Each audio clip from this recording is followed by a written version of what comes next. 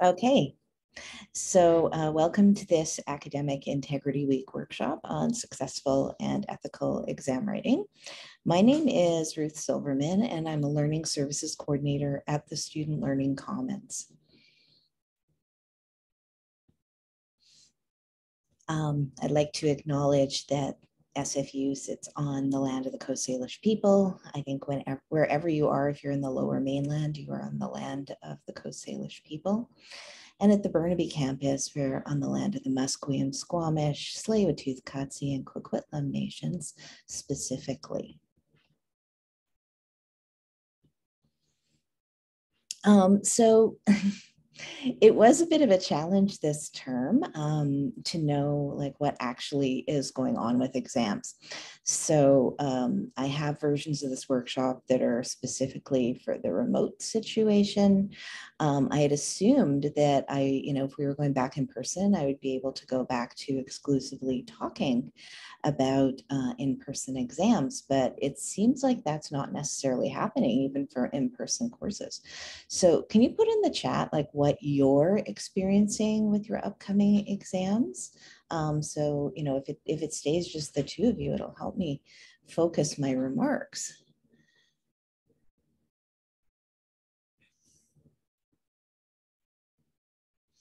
Okay, so Brianna has both. That seems to be pretty typical. And Emily's are all in person. Okay, so I guess I will address both, um, but maybe, you know, say more about in person. And I guess the other question is, um, I guess this is really just for Brianna. Is, is it your first time writing online exams in post-secondary or were we, you with us for that wonderful experimentation last year with online exams? It's first time. Okay. Okay. So then that really helps me gauge how much detail I get into. Thanks. Okay, so we'll talk about, you know, first setup. Um, and the setup question mostly applies to remote exams um, because you don't necessarily control the setup when you're going to an in-person exam. Um, we'll get into a bit of preparation, just general preparation strategies, um, and maybe quantitative strategies. Uh, do either of you have quantitative exams coming up? Because um, if not, and no one else shows up, we could probably skip over that part. Um, so like any math, physics, uh, statistics, that kind of exam. Emily doesn't.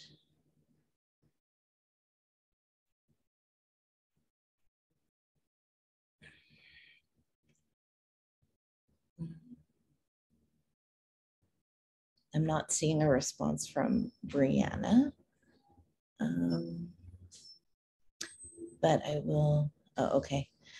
Oh, Brianna has dogs. um, we, I was wondering if you have any quantitative exams coming up, like math, stats, physics, that kind of thing, because if not, I can skip that part.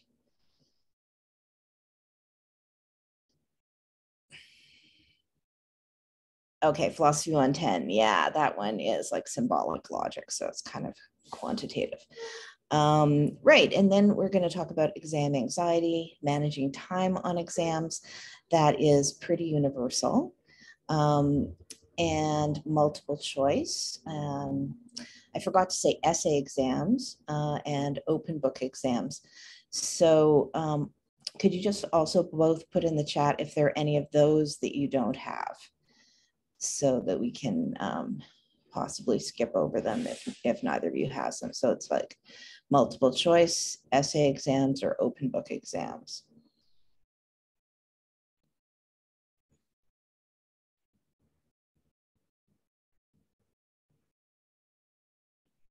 Okay, so Brianna doesn't think she has any multiple choice, but Emily does. Okay, so basically I'll cover everything. Yeah, and this just really shows the diversity of what's going on. Um, so the first task really for preparing is to inform yourself about what to expect, which is exactly what I've been doing in the context of this workshop. Because um, it, it, it is really challenging as an SFU staff to um, provide workshops about exams when everything is changing so rapidly and not being a student, I, I just, you know, I don't have firsthand exposure to what's going on. So I do appreciate you letting me know. Um, so, you know, just like the general details about, you know, when and where uh, and if it is a new location to you, if it's in person, um, scope it out beforehand so that you don't get lost on the day of. Um, how long is the exam going to be? That's a you know a good thing to know, um, but also the timing. So um, if you have online multiple choice, which I don't think either of you do, let me just look back in the chat. Um, so Emily, you have multiple choice, but yours are all in person and it doesn't look like Brianna does. So that's that's a whole section I can skip for online multiple choice.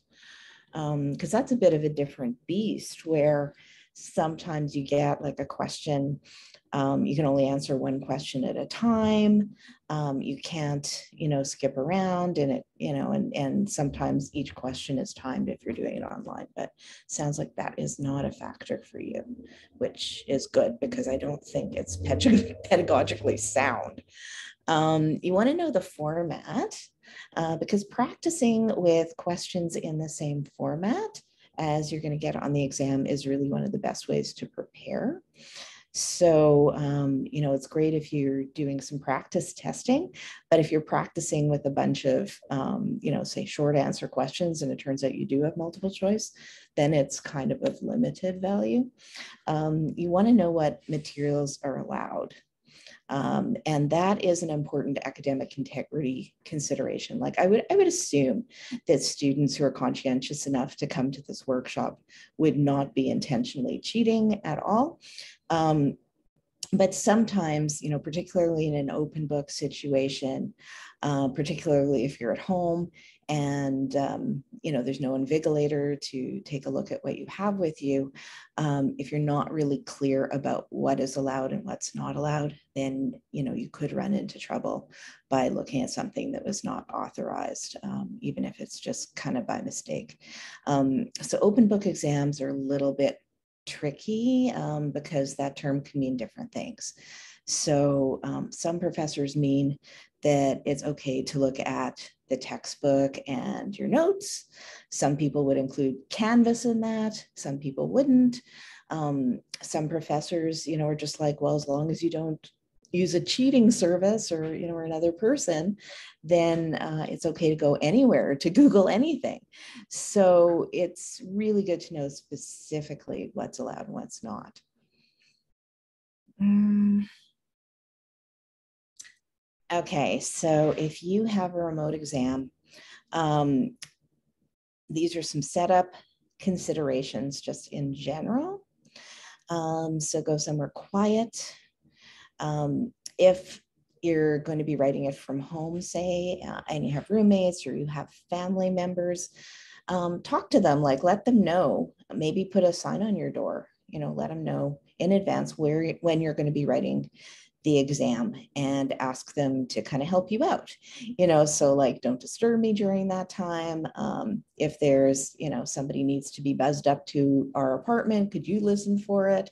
Um, could you please you know if, if there's uh, issues with the number of people streaming and the strength of your wi-fi uh, where you are you know ask them not to do some streaming at that time you know and and all that like that can be very useful um, you know, have anything that you're allowed to use right next to you. Uh, and that would include the professor or TA's contact information. And the reason that I'm throwing that in is uh, in case there are technical difficulties during the exam. I have heard some horror stories from students who have had technical difficulties during the exam. You know, so really if that happens, you want to be taking screenshots um, and you want to you know get in touch with your professor or TA right away and let them know. Um, so you know not having a delay while you're looking up their information. Um, so yeah, I mean have your computer fully charged, the pop pop-up blockers off. I mean, unless the exam is going to come as a pop-up for some reason. Uh, if there's any extra hardware or software that you need, um, and your Wi-Fi is strong. Make sure you don't have any temptations or distractions in your environment. So leave your phone away. Um, don't have other tabs open in your browser. Um, you know, and especially not something like Canvas that you could cheat off of. Um, have your notes and your book in another room if you're not allowed to consult it. Um, you know, so like that's very important for academic integrity because um, sometimes um, even if you're not intending to cheat, it can be kind of tempting if if the thing is right next to you. Um, so I actually, as an instructor, I had a question from a student that alerted me to this dilemma. Um, the student was saying that even though like they have an in-person class right before the class they're in with me, um, on the midterm date, they have to write it remotely and he'd prefer to write it remotely from home. So he was saying he would have to miss my class so that he could write the midterm from home.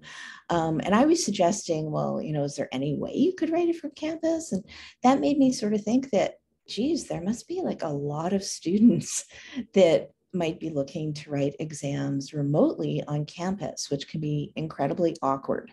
Um, so I have these suggestions. Um, you know, maybe looking for some empty classrooms that are empty during the block uh, and, you know, scout it out in advance. So, you know, if your midterm is like two Tuesdays from now at 2.30, um, scout locations next Tuesday at 2.30. Um, I understand there's a lot of classrooms in the AQ that are empty at certain periods of time.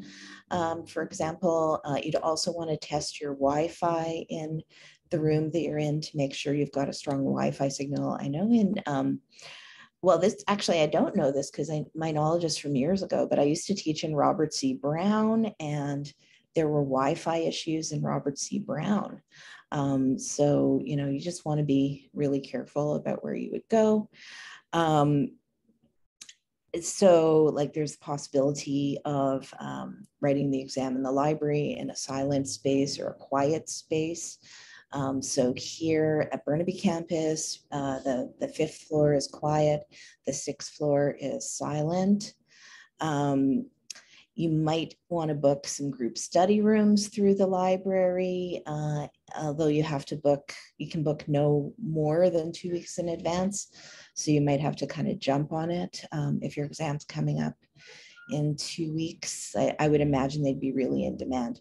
So theoretically, they are only supposed to be for one, um, two or more students, but I understand that in this situation, um, the library is being pretty lenient about enforcing those things.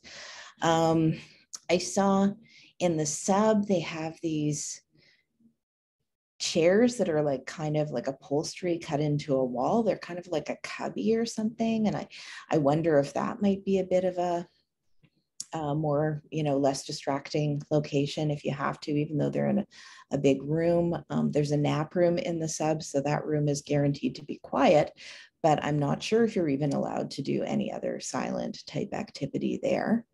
Um, and then I just got a message right before the statutory holiday on Wednesday that SFU has designated some remote learning classrooms um, on the Burnaby campus.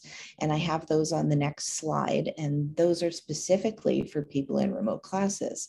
Um, I'm not sure how great they'd be for exams though, because there are probably people there that are, you know, actually attending class. Um, presumably they'd have a headset on so that the noise doesn't travel, but, um, you know, they might be wanting to sometimes participate in class and say something. So I, you know, I don't really know if that would be great, but um, I can give you the information on the next slide. And um, also just recommend noise canceling headphones if you do end up having to write an exam from semi-public space. So I copied this list from the SFU website of the remote learning classrooms.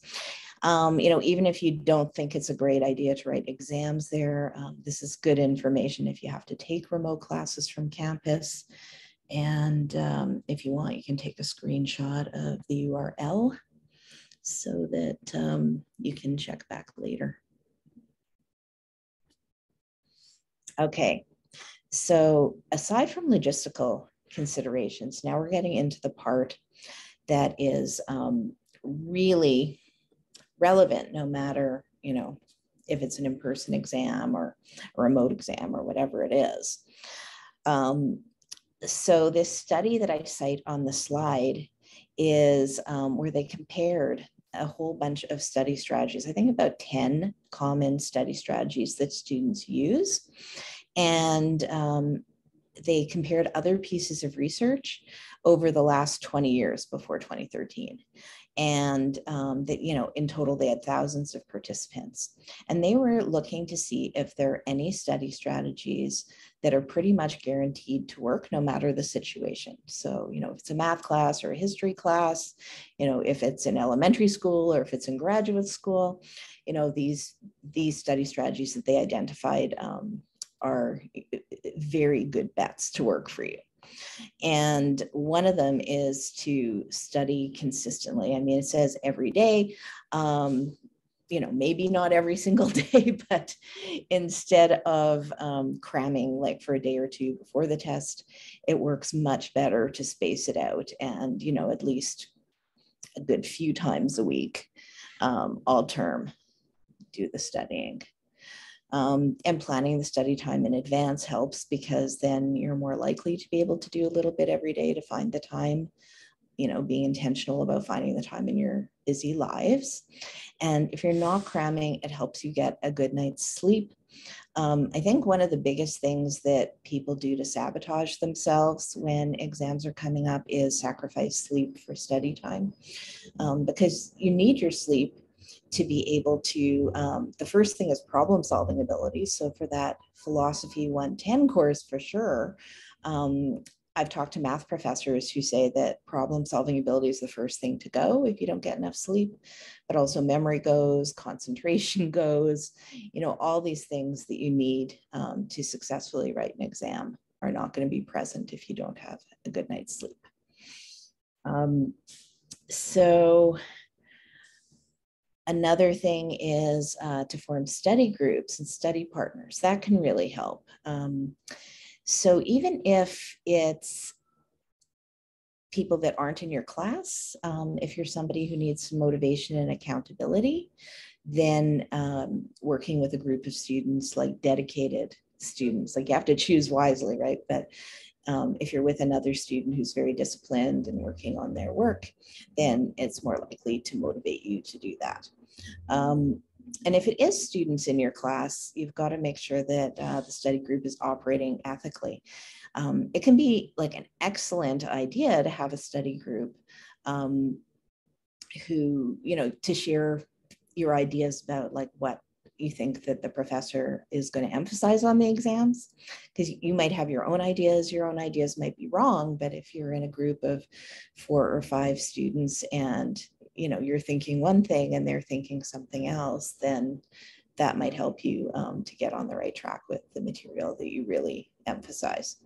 Um, and also like the ability to quiz each other um, you know with some knowledge of what's going on in the class can be really really useful um, but you know sometimes there's a bit of ethical blur or you know a bit of an ethical line that could be crossed um, and uh, the situation is um, sometimes if a professor will distribute a bunch of essay questions in advance and say, okay, two of these 10 questions are going to be on the test.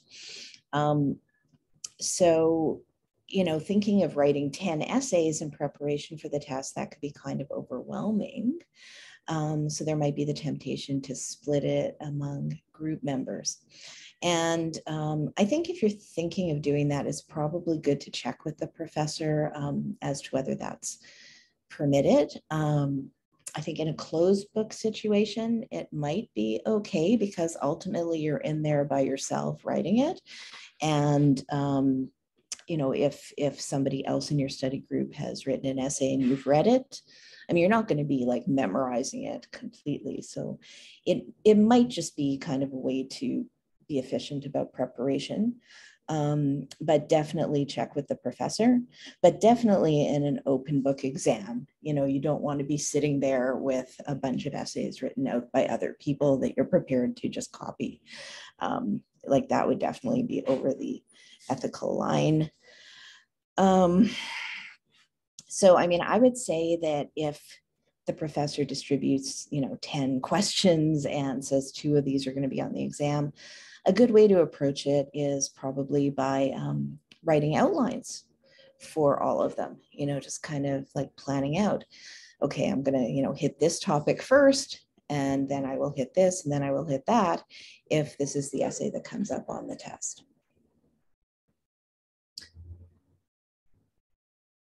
Um, so let's get back to the question of planning out your studies. Um, there is a YouTube video uh, that really goes over how to prepare an exam prep inventory. Uh, and you can take a screenshot of this if you want to watch the video, but I can, I can also cover it. Um, so do both of you um, have uh, like a study schedule or um, some sort of planner that you use? Uh, weekly schedule? Yeah, Emily does. And Brianna's dogs might be barking. Yeah. So I think, I think, um, okay, so Brianna has kind of a, a messy schedule, uh, which I think is better than no schedule. So I mean, a lot of people, when they're planning out their studies, they will, you know, put some study blocks for the tests in their schedule. So I think that's a good step. But I think an even better step is to do an exam prep inventory first.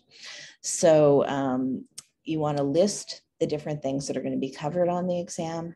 That can come from your syllabus. Um, and then, you know, the second one where you're inventorying if you have all the materials, like that's okay. Um, but if you're pretty confident of that, you could probably skip that step. Um, but you notice that a couple of the topics by the materials there are asterisks. And that has to do with knowledge gaps. Um, those are topics for one reason or another that you're not um, you're not that confident in. And that signals that you need to maybe spend more time on those topics and assign it a higher studying priority. So that would be columns three and four. Um, in column three you're estimating how much time you're going to need to study for each of the subsections and then totaling it. And that hopefully will give you a more accurate estimate than if you just sort of think, um, oh, how long do I think I'm going to need? And I'm going to put that amount of time in my schedule. Um, I think it would be a lot more accurate. I think people tend to um, underestimate how long they're going to need to prepare for an exam. And that tends to um, be one of the reasons why cramming is so prevalent. And um, sometimes people overestimate. And I was an overestimator. I was one of these, you know, kind of anxious students. And I would just, you know, I had a test coming up and I would almost inevitably think, wow, this is going to take forever. It's going to be impossible. you know, like I'd be overwhelmed by the amount of time that I would think it would take. And that would lead to procrastination. So if I had gone through um, subject by subject and tried to accurately estimate how much time, I might not have been so overwhelmed. Like if I had done it, you know, well enough in advance, I had seen that it, I thought it was going to take 13 hours. That's a lot of time, but you know, if it's if you figure that out enough in advance, you can schedule that time. It's not that big a deal. Um, the other thing about estimating how much time each section will take is to allow about one and a half times your initial estimate.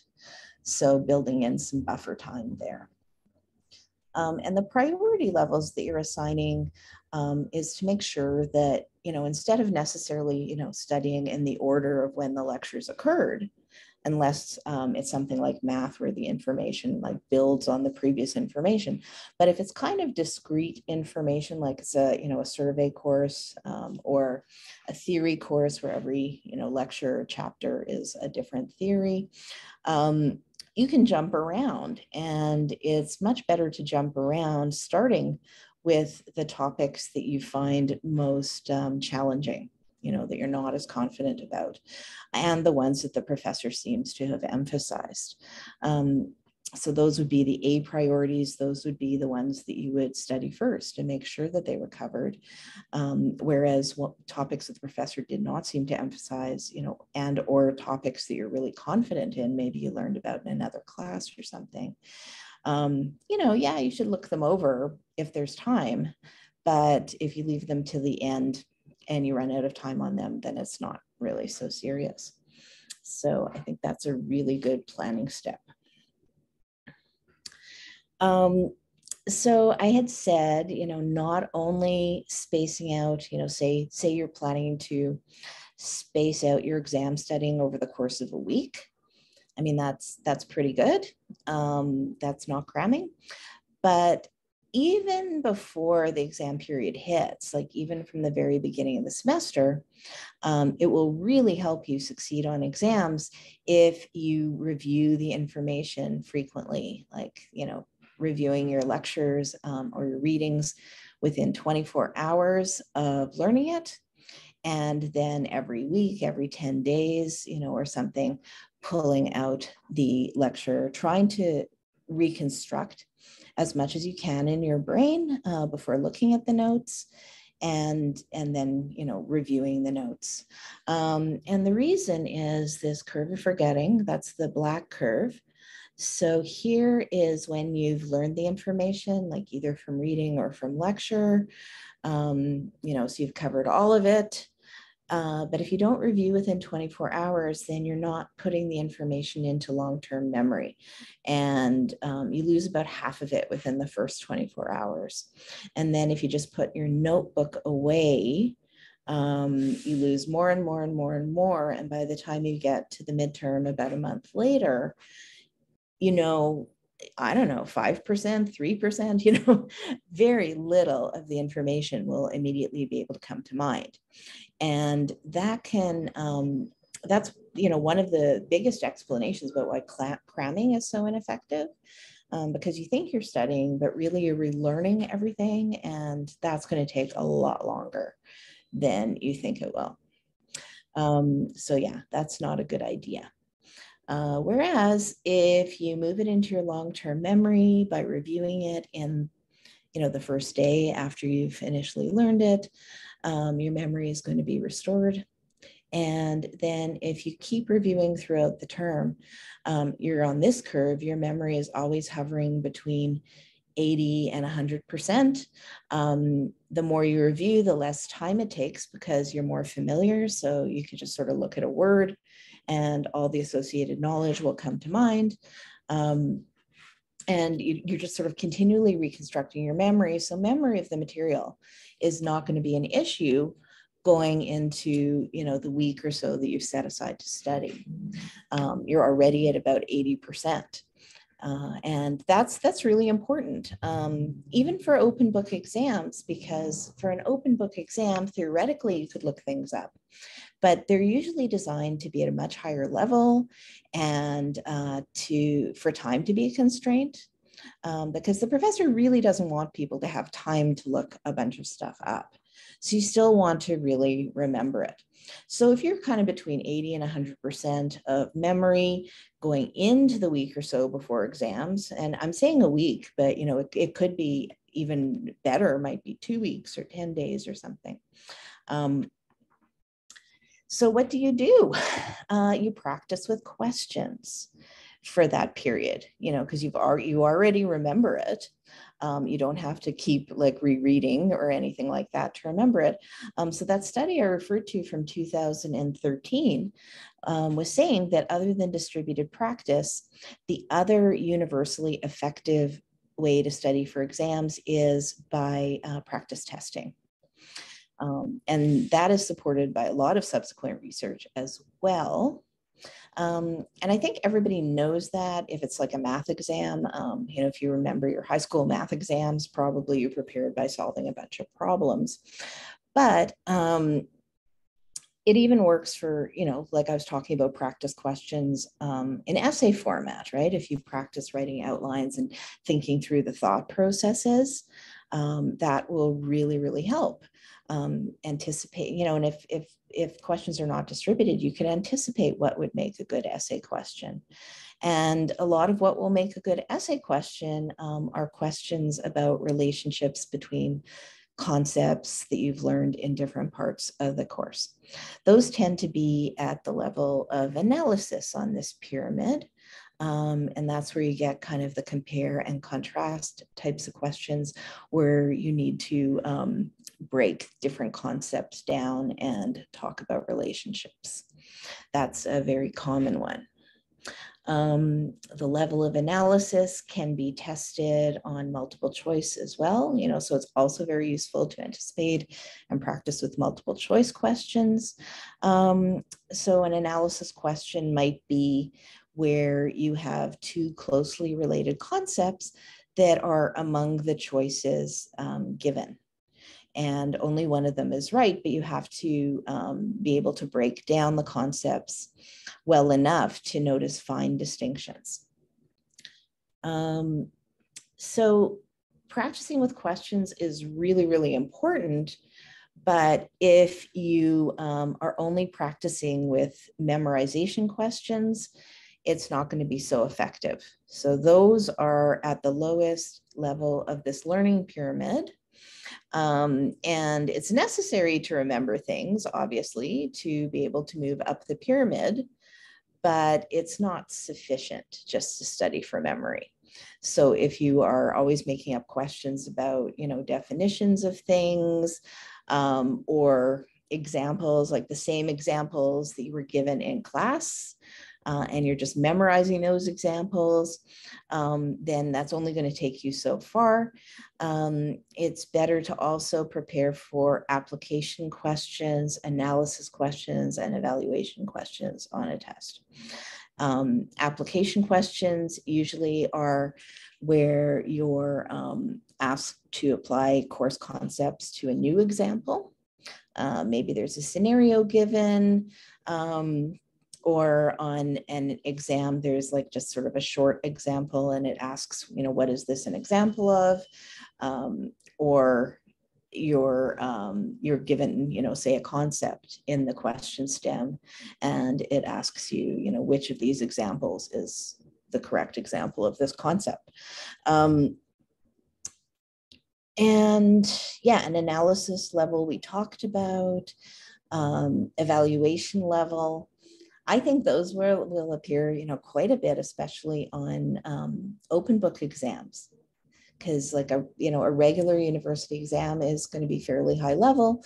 Open book exams, since you have all the information, you know, they're really going to go for high level questions. Um, and those are the type of questions where, say you're asked to compare and contrast, you know, a few different course concepts or theories. Um, and then you're at you know you're given an example and then you're supposed to say you know which of these theories best explains this example. You know so it's it's pretty complex.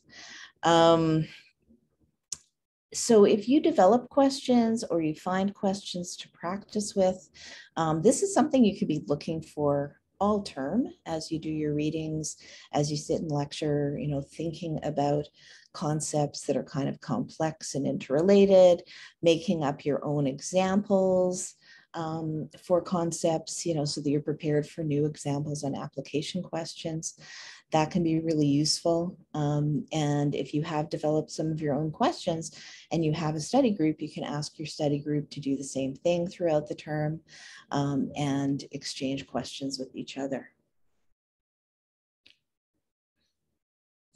Okay, so um, I'm just going to kind of quickly go through this for Brianna. Um, the thing about preparing for quantitative exams is that sometimes people will do like a lot of questions that they find easy you know, they're, and they, and sometimes people just kind of ignore the questions um, that they have trouble doing, you know, so they think, oh, okay, I've been able to do, you know, 23 out of 25 of these problems. I should be fine for the exam, but it tends to be the more challenging ones that you're given on the exam. Um, so when you know you're not in some sort of high stakes situation like an exam you need to practice struggling through the difficult problems um, so that you you know you feel the discomfort and you're able to get through it you know just by like trying things um, sometimes you might need to go for help uh, to a TA or a classmate um, and then go back and struggle through it again. Um, so it's important to do problems at all levels of dif- difficulty and, you know, really go through the process of feeling the discomfort of finding something difficult, but being able to work through it.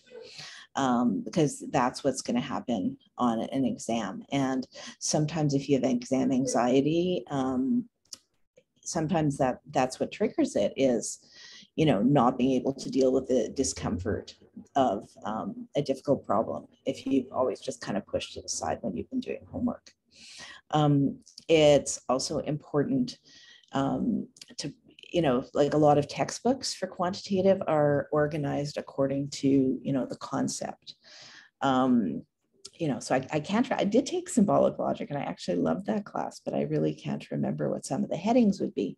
But, you know, probably you're encountering um, proofs under a bunch of headings in your textbook. So the headings give away what you're going to have to do to solve that problem.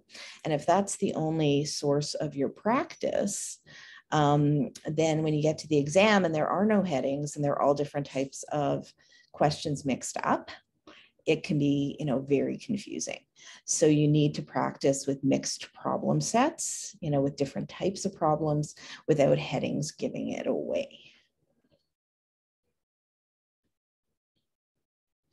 Um, and this one i don't know. I mean it refers to um, a, a web page that you can look at to learn more about this. But I think it probably applies more to uh, quest to you know, courses like math. Um, yeah, so it's it's when you know you get to the exam and the problem looks like something you've never seen before, but really it's one of these common ways the professors use to disguise easy problems. So I'm not going to go over it in great detail, but if you think that might happen, you can uh, take a screenshot of this URL. and nobody's taking any math exams. Um, exam anxiety. So um, is this is this an issue for either of you? I mean, this would be in, this would be useful to know how much detail I should go into about this. Not really. Maybe a little. Okay. Yeah, so I'm not going to go into a huge amount of detail, but a lot of students will say that uh, that they have exam anxiety and that that interferes with their performance. Um, and sometimes it has to do with a lack of preparation. Sometimes it's more than that. Um, so the basics that you would do is, you know, making sure that you feel really prepared. And that takes you know, by using the study strategies I talked about. And that takes care of like a lot of the students that think they have exam anxiety. Um, but also like doing things in your life um, to deal with the stress hormones in your body, uh, such as getting a good night's sleep, um, having an exercise routine to bust your stress, uh, proper nutrition. Oh, we are being joined by somebody else. cool. Um, you know and and not like over relying on caffeine and sugar and that kind of thing that a lot of people do um, consume a lot of around exams because those things actually increase the anxiety in your body um, another thing is positive self-talk. So um, you know like i said i was kind of i don't think i actually had exam anxiety but i had you know maybe subclinical anxiety about my studies. And um, i would you know i would tend to get overwhelmed. I would tend to be you know negative self-talk like oh this is going to take forever. I should have started earlier. Um, you know i'm going to fail. I you know i would send myself those kinds of messages. So you want to kind of reality test those messages um, you know by saying, uh, you know, like, I'm going to fail. Okay, well, was there a time when you thought you were going to fail, but you actually did really well? And, you know, and in my case, there were many times that I thought I was going to fail, and sometimes I even got A's or something. Um, you know, so th- so that's a good one to remind you of. And then you know, and then you can say, well, you know, for your previous exams where you thought you were going to fail, and then you ended up do- doing really well. You know, what what made the difference? And you know, and usually it was um, spending a lot of time and having good study strategies and you know doing practice questions and things like that um, you know and so so sometimes you can kind of just talk yourself out of it um, but there are definitely students that you know no matter how much they prepare they still um, have some debilitating anxiety around exams and uh, I would suggest like watching this video, you can take a screenshot of the URL um, you know, that's a good starting point. Uh, if, you know, no matter how prepared you are, you know, sometimes you go blank on exams, that kind of thing, um, I'd say to work with health and counseling services. That's a really good starting point. Um, and, you know, and if it, if it does end up being diagnosed as an anxiety disorder, the Center for Accessible Learning can help. Okay, so managing time in exams. This comes at a time that I'm realizing that I'm not managing my time in the workshop that well. Um, so it may go a bit over. And if you do need to leave um, at 20 after that, that's fine because um, it will be going on the SLC website, um, the recording. So, you know, these are some general ideas uh, about how to manage your time in any exam. So, um, you know, looking at the whole exam originally and, you know, realizing, okay, it's, you know, this many hours, it's worth this many points, you know, and then you do the math and you realize how much time you, you, you can spend per point. Um, also like doing the easy questions first, you know, so this is all kind of conventional wisdom. Um, you should have seen my exam booklets when I was in university. Like it would be like question 14, you know, then question six, then question 1A, then question, you know, three, four, five, then question 1B. I mean, I was jumping all over the place. And that that is how I tended to do, you know, pretty well on exams.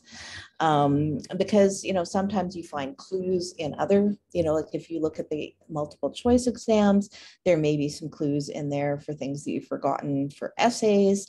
Um, and sometimes, you know, just like having read the difficult question and having some time that you're spending on something else may um, give you some time just for like your unconscious mind to work on it and you you know, suddenly know what you're going to write down for that difficult question. Okay, so um, say you're given an exam that has, you know, and you can jump around, uh, and it has some multiple choice questions and some essay and short answer questions. Um, where Forgot you... that I signed up for like a approaching exams, oh. some seminar thing. So I'm catching the end of it. But I think she froze. okay, so I've muted her because I think um, I think she was talking to somebody in her environment. Okay. Um, yeah, so I'm I think I will just, you know, I'll just let you know what I recommend for that kind of exam if you can jump around in it. Um, is like to read but not answer the essay questions first. So that you you have them in your head and you can look for clues or you know or or allow some time to kind of think of what you want to put. Um, if it's the type that you, you know say there are five questions and you choose two of them make your choices right away and stick with them and only keep those questions in your head Um, then you just kind of breeze through all of the multiple choice questions because they might contain hints for answering the essay questions um, and answer them quickly as you go along. Um, so only the easy ones, you know, only the ones that you can answer quickly. And if you can't answer a question quickly, you know, just indicate, make a mark or something that you need to go back to it um, because it's a waste of time to puzzle over multiple choice. So then you go to the essay or short answer questions because they're worth like way more marks. Um, you answer them as best you can, also in order from the easiest one to the most difficult. And then you go back and puzzle over the tricky multiple choice questions. Um, and, you know, the reason that you kind of leave that till the end is that worst comes to worst, you find that you have like two minutes left. You can just, you know, quickly randomly bubble things in if, you know, worst case scenario, as long as you don't lose any marks for wrong answers. Um, so this is, you know, for forced order multiple choice um, questions in an online format. And I know that Emily and Brianna are not going to have those. Um, Miggy, do you have any of those? Like, do you have an online test that's going to be multiple choice and you have to just answer the questions in the order in which they come up?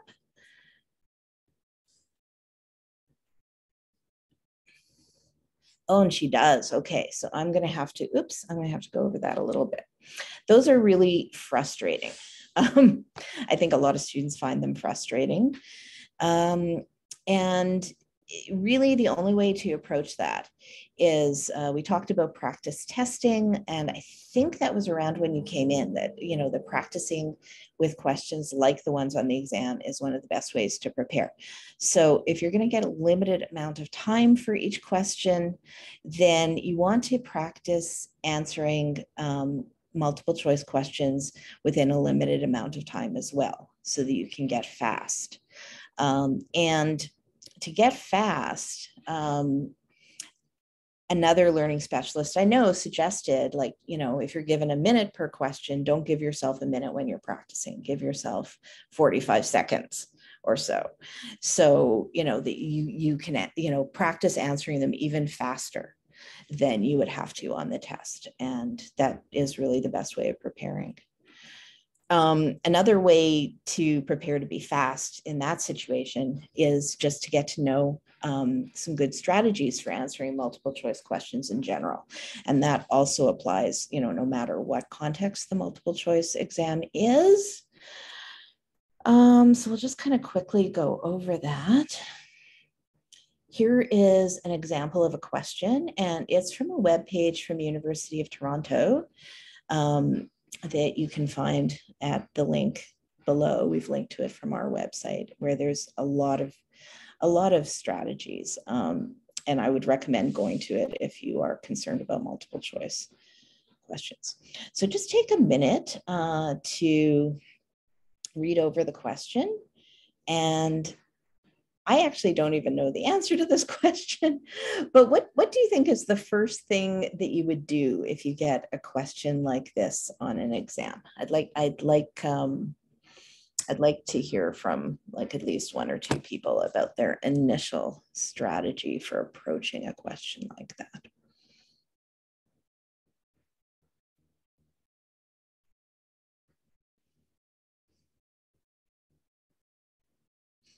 And while you're reading, I'll let Miggy know um, that I'm making a recording of this and it's going to go up within a week or so on the Student Learning Commons website. Uh, and I'll show you where at the end if you're there so you can see what I talked about before you came in. So does anyone have any sort of like a guess about how you would normally approach a question like this?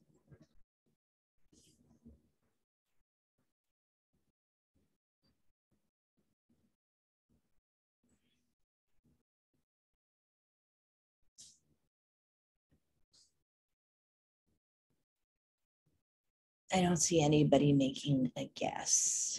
So I, I guess I will just continue. So what I suggest is actually covering up the options. If it's on paper, you know, bring a, a blank piece of paper so you can cover up the options and don't even look at them until you've gotten a good understanding of what the question is asking. Um, you know, or if it's on the computer and you can't really physically cover it up, just like don't really look at them. So read the question stem and quite often, um, the question stem will give you an idea of the answer, or you might even instantly kind of know the answer, you know, and then it's just a matter of finding it on the list. Um, if you look too early at the list, that's when people tend to get really confused. Like I think people find, you know, that they get confused between the options a lot on multiple choice, and that tends to be um, student's greatest challenge for answering it. You know, because if you if you don't have a really clear idea in your mind about what you're looking for, um, when you look at the options, it's it, it there, there are going to be some that are close together that are more likely to confuse you. But if you have a clear idea, um, or at least a clear idea of a part of it, then you will be a lot better off going through the options. So we'll go back to the original question. Um, in this case, it has to do with, you know, there are kind of two dimensions that the answer's on, you know, so is it increasing your sensitivity like there's faster or slower? And then there's greater sensitivity or less sensitivity. So, I mean, somebody going through this might know what the exact answer is, um, or they might just know, you know, whether it's greater or whether it's less and um, you know that'll at least narrow it down.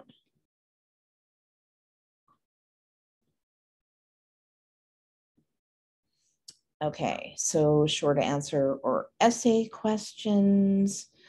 Um, we talked about sticking with your initial choice. I used to lose so much time on exams because I would not stick with my initial choice which is, you know, can be a huge waste of time. Um, we talked about easiest to most difficult. You might want to bring a highlighter and that actually could also be useful on multiple choice tests, you know, so this is if it's on paper, um, like you would highlight what the instruction is telling you to do on a short answer or an essay um, so that like, you know, for example, if it says compare and contrast or analyze, then that'll help you keep in mind that they don't just want you to spew out everything you know about the topics. Um, but on multiple choice, like a highlighter is where you can highlight keywords like always, you know, or not, you know, words that sometimes people go wrong because they ignore them when they're answering the question quickly. Um, and yeah, and basically, you know, if a question is worth um, five marks, you should have five points. It's kind of an indicator of how many points you need to have. Um, so yeah, like, you know, don't be editing yourself while you're writing because that will only slow you down. Um, you know, if by some reason you finish early, which probably you won't um, if you've given thorough enough answers, uh, you might be able to go back and make some corrections. But, you know, I, I really do not think that professors are marking a lot on spelling, grammar, and things like that when it comes to short answer essay questions.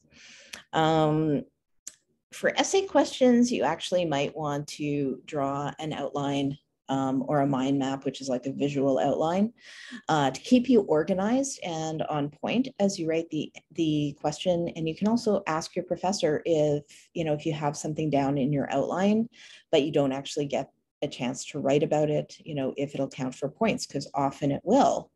Um, yeah, and you know, and if you if you're running out of time on an essay question, then you know just switch to point form you know just kind of throw things down as quickly as you can. So open books open book exams they tend to have like a lot of short answer or essay questions um, but like they tend to be even higher level because the professor knows you have all the details like right in front of you. Um, so if you, you know, write some practice essays or, you know, practice answers or even outlines um, to practice for an open book exam, um, you can ask the professor if you are allowed to have your practice answers with you. Um, or, you know, if they say you can have anything with you, then clearly you should be able to have that. Um, if they're saying, oh, just the textbook and your notes, you, you probably should clarify if practice answers you've written um, count as that. Um, yeah, and you know, you're not going to have time to look things up. So, you know, just kind of treat it as you as you prepare, treat it as if it was any other essay short answer exam. Um, because, you know, if you're thinking, I, I don't have to remember anything, then you're going to run out of time. Um, so plagiarism, getting back to Academic Integrity Week, that can be an issue um, with open book or like any type of essay exams, but especially open book. So for essay exams in general, you should clarify whether the professor is expecting you to provide citations. Um, I think if you're writing from memory, it would be, you know, very ridiculous if the professor wanted citations, but um, just make sure. And on an open book, sometimes they will want citations, you know, if they know that you're going to have your materials in front of you and, you know, and, and you're going to be drawing on them, they might want it, but they might not because they realize that it's under time pressure. Um, so that should be something that you clarify. And, uh, you know, and you just like, if you look something up, you do not copy it word for word out of the book um, because that is plagiarism still.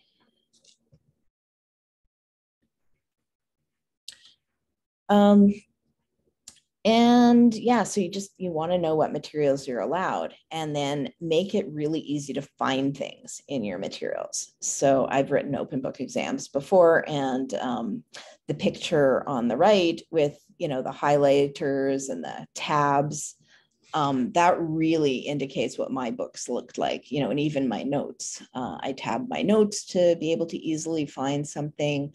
Um, and I actually wrote on the tabs, like I wrote a keyword indicating what can be found in that in that section, um, because probably you will have to look up the odd thing, uh, and you don't want to waste a bunch of time doing that. So, I, you know, I made like really good annotations of my notes. Sometimes I wrote a summary, um, you know, kind of of of the whole course. Uh, and you know, and I and I was hoping that if I had to look something up, I could look it up in the summary rather than having to look it up in the whole big textbook.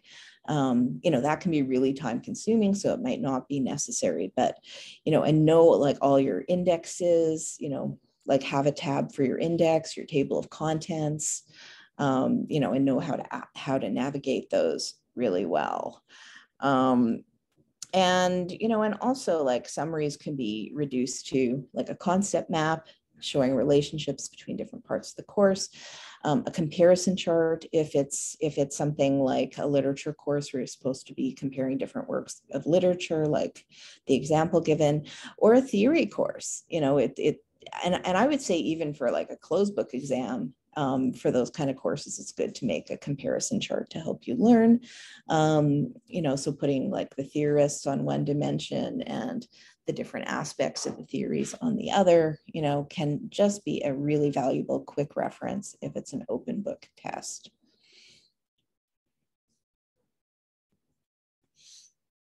Um, take home exams, you know, any sort of an online exam is really a take home exam. But what that term has traditionally referred to is, you know, where it's open book and you're given several days to do it. And a lot of that is about planning out your time. You know, so if you know that you're going to have like three days to write a whole exam, um, you probably don't want to be working on two of those three days you know? Like you want to clear your schedule in advance um, and figure out like where um, are you going to be most productive to do the work and uh, what your days are going to look like. So when i had a three day exam um, I set myself up in the library, um, in a computer lab, like where my friends didn't really go so much so that they wouldn't be distracting me. Um, and I went there like every day from about probably 9 30 or 10 in the morning um, and I took a lunch break and I took a bit of a walk and I would wind up at about, I don't know, 5, 5.30 um, every evening. And then in the evenings, I would spend some time with my family and wind down and get a really solid sleep and then come back. And, you know, so I did that, I think on the, the last day, uh, I was able to finish at like 2:30 or something, you know. So, so yeah, like it's not something where you're supposed to, you know. I don't think it's good practice to try to sit there for like really long, long days and nights. Um, and at the same time, it's not a good practice to like have to immediately block off a big chunk of that time for other things that you have to do. Um, so in conclusion, I just, you know, wanted to tie this workshop to Academic Integrity Week. And um, there actually is a board called International Center for Academic Integrity. And in the early days of the pandemic, one of the board members said this, pressure and stress are key drivers, drivers of cheating behaviors and students today are experiencing a lot of both. You know, and I think that's still the case even when we're out of remote learning. Um, so students who feel connected, supported, and encouraged are less likely to cheat. So that's, you know, that's really what the Student Learning Commons is there for. That's why we're doing this. Um, and uh, also, I encourage you to take care of other sources of support, like uh, going to your professors or TAs if you have any questions um, leading up to the exam. Like if you're, you know, really having trouble understanding a part of it, or if you want to know more about their expectations and you know what the exam is going to be like, seek support, uh, and that can be very useful. Um, so this is the Student Learning Commons uh, main page. I think you've you've both been here to sign up for the workshop. So you would have gone to this find a workshop page um, to sign up. If you scroll all the way down on that, then you are going to get to the recorded, a link to the recorded workshops page. And that's where I will be placing this recording, especially for Maggie who um, missed a good part of it. You can watch it. Um, and then also this orange learning and studying tile here um, contains like if you if you go to links that are under there for like exam preparation, exam anxiety, strategies for different types of exams, like, you know, there's a lot more information you can access there. Um, you are you have eligibility to um, get credit on your co-curricular record for this workshop. Um, so if you wanted to take a screenshot and do this web survey, and you know what, it just occurred to me that this web survey link may or may not be up to date, uh, and I apologize if it isn't, but there is a link off both the workshops page uh, on the website that I just showed you um, and also on the recorded workshops page to the correct link to fill out the uh, the web survey so that you can get credit on your co-curricular record, which is like a transcript, um, but it's a transcript for things other than coursework that you've done at SFU. Um, so I, I would love to see in the chat, uh, you know, what your biggest takeaway or couple of takeaways um, are from this workshop. Like, what are you planning to try?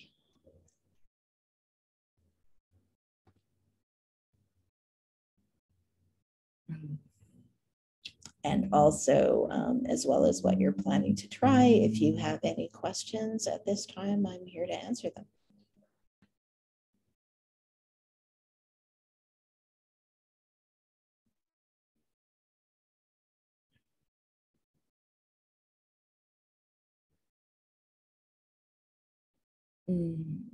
Yeah, yeah, yeah, yeah. So Brianna, with your quantitative exam, um, you're you're gonna like work your way through your difficult problems. Yeah, and and you know that should make it so much easier. Even if it's a different difficult problem that you get on the exam, um, you'll at least like know the process for going through and not panic um, yeah, and pre-read the short answer questions so that you have them in your head as you go through the rest. Um, and also like if you can make any choices, making the choices right away. Mhm. Okay, so I think that is it, but I'll turn off the recording and um, I'm willing to stay if anybody wants to talk to me further. So thank you.